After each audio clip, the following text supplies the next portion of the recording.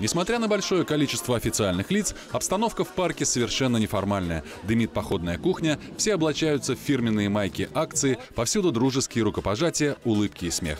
Звучит команда к началу работы, участники получают необходимый инвентарь, лопаты, ведра и перчатки и отправляются к месту посадки. Холодный осенний грунт стал своеобразным испытанием для участников акции. Им приходилось прилагать немало усилий, работая лопатой. Ну, давай. И прыгай. Раз. Так, так, так, так, так, так, так, так, так, так. Еще давай. Вот, молодец. Акция также проходила и на других площадках Ленинского муниципального района. В 13 детских садах, на 6 придомовых территориях и в Видновском специализированном доме ребенка. Всего в этот день в муниципалитете было высажено около 1600 деревьев и кустарников на общей площади в почти 2,5 гектара.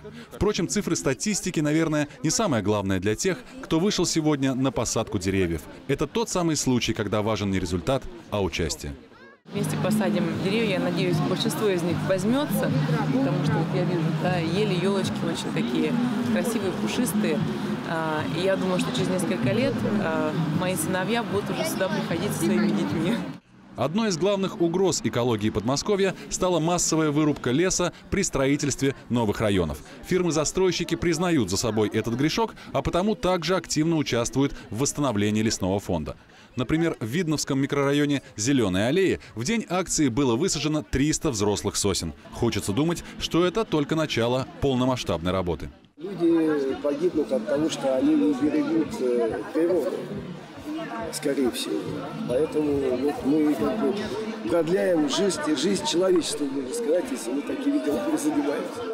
Другая большая проблема – эпидемия, которая распространилась в подмосковных лесах. За несколько лет короед поразил 74 тысячи гектаров леса или 4% от всего лесного фонда региона.